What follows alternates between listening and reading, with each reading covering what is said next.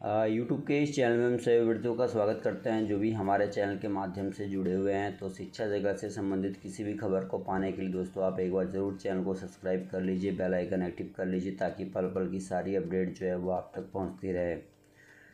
तो जैसा कि सातवें चरण को लेकर अभ्यर्थी लगातार परेशान हैं कि कब उसका नोटिफिकेशन जारी हो, ताकि वे आवेदन कर सकें। वहीं अभ्यर्थियों का ये भी पूछना है कि क्या सातवें चरण से पहले बीटेट करवाया जाएगा? तो मैं आपको बता दूँगा इस बिग ब्रेकिंग न्यूज़ है कि बीटेट का जो केस पटना हाई कोर्ट में किया गया था कि सातवें चरण से पहले जो है बीटेट करवाया जाए, वो खारिज कर दिया गया है। तो अभ्यर्थियों को राहत है कि भाई अब बीटेट जो है वो सातवें चरण से पहले नहीं कराया जाएगा। ऐसे में अगर हम बात करें आज की खबर की ओर तो आज एक की जो खबर है वो सुर्खियों में यहाँ पे बनी हुई है और आप देख सकते हैं यहाँ पे। जैसा कि मैं आपको पहले भी अपडेट देता आया हूँ कि संजय सर लगातार व्हाट्सअप हो या ट्विटर हो अपना रिप्लाई देते रहें जब भी भी अभ्यर्थियों ने पूछा है। तो यहाँ पे देख सकते हैं, धीरज गुप्ता ने पूछा है respected Sanjay sir I don't know मेरा इतने रिक्वेस्ट करने के बाद भी मेरे रिक्वेस्ट आप तक क्यों नहीं पहुँच पा रहे हैं। क्यों मुझे इग्नोर किया जा रहा है? सर प्लीज़ सर, एक रिस्पॉन्स दे कर बता दीजिए, सर। एस टी टी उन्नीस कब स्टार्ट होगा? प्लीज़ सर, एक रिस्पॉन्स दीजिए। तो इन्होंने पूछा है कि भाई एस टी टी उन्नीस जो है वो कब तक होगा? एक रिस्पॉन्स देकर बता दीजिए। तो तुरंत देखिए, संजय सर जो है वो रिप्लाई कर देते हैं। उनका अभ्यर्थियों से काफ़ी ज़्यादा लगाव है, चाहे वो आपका व्हाट्सअप हो, चाहे फिर आपका ट्विटर हैंडल हो, वो रिप्लाई जो है वो तुरंत उनका आ ही जाता है। तो इस तरीके से उनका रिप्लाई भी आया और रिप्लाई में उन्होंने क्या कुछ कहा यहाँ पे, वो भी आप ले सकते हैं। उनका साफ़ तौर पे कहना है कि सून उन्होंने कहा है कि सून मतलब बहुत जल्दी जो है, वो कह रहे हैं कि भाई जो एस टी टी की नियुक्ति प्रक्रिया है, वो प्रारंभ कर दी जाएगी और दे सकते हैं।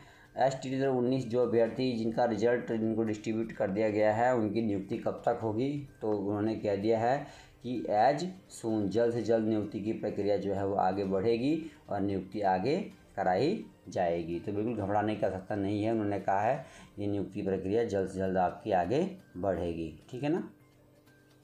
आगे देखिए बीटेड केस को लेकर अगर हम बात करें बीटेड सेवन फ़ेज़ से पहले करवाने वाला पीआईएल हुआ डिस्पोज पटिशनर को सरकार के सामने रिप्रेजेंसन देने को कहा गया। कोर्ट की तरफ़ से कोई राहत नहीं।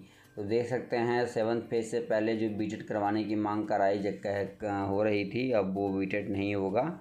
तो आप बिल्कुल निश्चिंत रहिए, किसी प्रकार का कोई व्यवधान नहीं होने वाला है। अगर बीटेड होता तो नए अभ्यर्थियों को भी सेवन फ़ेज़ में मौका मिलता, लेकिन फ़िलहाल देखिए बीटेड करवाने के मूड में नहीं है सरकार सीधे जो है सेवन फ़ेज़ का नोटिफिकेशन जारी करवाने के मूड में है। और देखिए जिस प्रकार से शिक्षा मंत्री का बयान आया था, उस पर भी काफ़ी ज़्यादा अभ्यर्थियों की मायूसी है। उन्होंने कहा था कि आप लोग परेशान ना होएँ क्यों पसीना बहा रहे हैं सेवन फ़ेज़ को लेके? जब नोटिफिकेशन सरकार को जारी करना होगा तभी जारी करेगा। इस प्रकार से अभ्यर्थी लगातार फ्राइडे फ्राइडे को सचिवालय पहुँचते हैं। तो ऐसे में आ, उनका यही रिप्लाई आया था ठीक है? तो देख सकते हैं ये भी अपडेट आ रही है। अब देखना ये होगा कि भाई आगे क्या कुछ होता है ठीक है?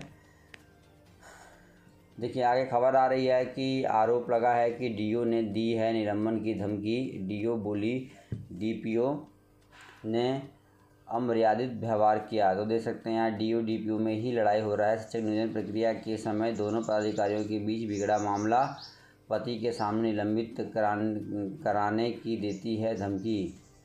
डांटती, फटकारती है डीपीओ। तो देख सकते हैं गाइज़ यहाँ इनका अपना मामला है।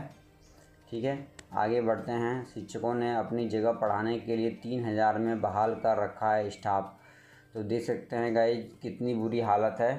पहले ये लोग जब तक शिक्षक नहीं बनते हैं, तब तक परेशान रहते हैं कि कब इन्हें शिक्षक बनाया जाए। और जब शिक्षक बन जाते हैं तो इस प्रकार के कारनामे इनके द्वारा किए जाते हैं।